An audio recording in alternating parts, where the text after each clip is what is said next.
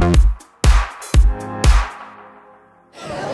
dziadek odradzał mi, znaczy on jest wielkim fanem w ogóle tańca z gwiazdami, wszystkiego co jest wspólnego, co ma cokolwiek wspólnego z tańcem, ale odradzał mi raczej z troski udział w tym programie, ponieważ e, wie, że to jest bardzo dużo pracy, że to jest ogromny wysiłek e, i martwił się o to, czy ja w ogóle podołam tym treningom, czy nic mi się nie stanie, czy moje zdrowie pozwoli mi na te treningi. I teraz dopiero zaczął się jakby oswajać z tą myślą. A jak w takim razie sobie radzisz z tą, z, tym, z tą ilością pracy, z tymi treningami? Czy jest ok, czy dziadek miał trochę racji? E, oczywiście ja słyszałam legendy, że treningi do tańca z gwiazdami to jest bardzo dużo pracy.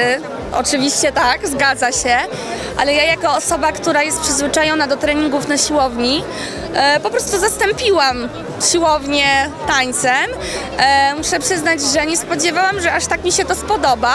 E, jak mam wolne weekendy, to nawet mam takie wrażenie, że kurczę, że czegoś mi brakuje. No, po prostu to tak wchodzi.